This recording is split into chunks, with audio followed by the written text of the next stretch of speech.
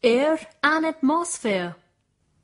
Air is useful in many ways, like for respiration, photosynthesis, burning, etc.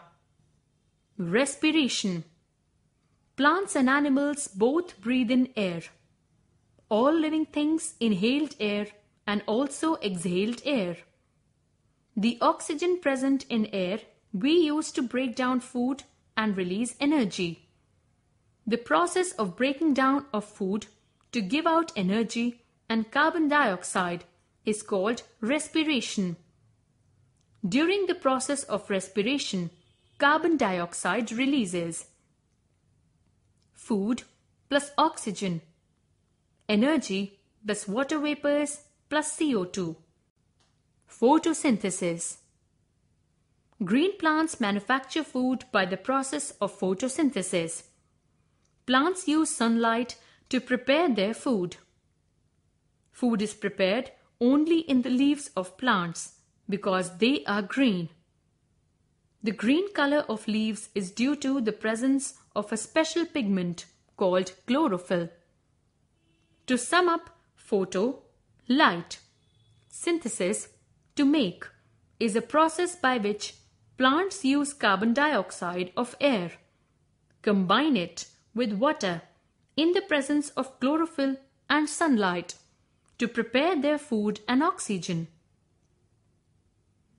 Do you know why it is not advisable to sleep under tree during night? This is because both of you are respiring simultaneously during night. So, you may experience lack of oxygen if you sleep under the tree because at night no photosynthesis means no oxygen is formed. Photosynthesis and respiration.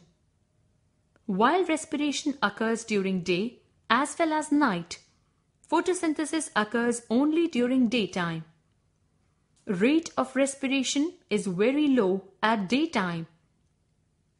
Photosynthesis cannot occur in the absence of sunlight. Air is necessary for burning. Burning or combustion is a chemical change in which oxygen combines and energy releases in the form of heat and light. When we burn wood, coal, candle, or anything, it releases heat and energy. Activity To show that air supports burning, take a candle, light it, and place a glass jar over it, as shown here. You will observe that candle stops burning after some time. This happens because oxygen present in the air inside the jar is used up by the burning candle. Since no more oxygen is available, the candle stops burning. Rusting Another slow oxidation process is rusting. When iron is exposed to air in the presence of moisture, a reddish brown coating is formed on it.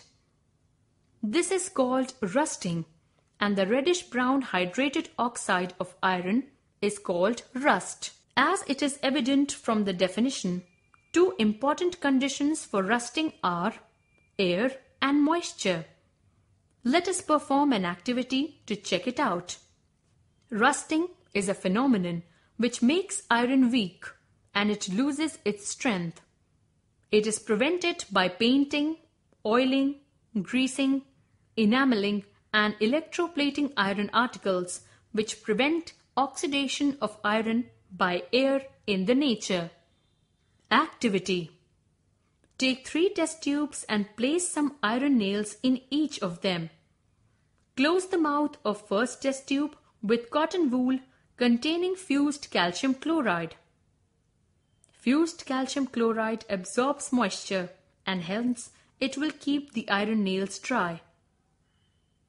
Pour pre-boiled water in second test tube.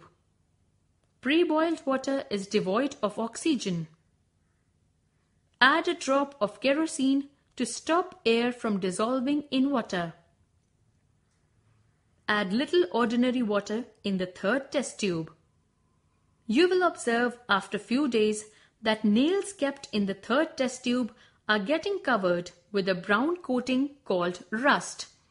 while nothing happens to nails kept in first and second test tube. The reason is obvious. Nails kept in first test tube got air but no moisture, while in second test tube nails got moisture but no air. Hence, we conclude that both air and moisture are required for rusting.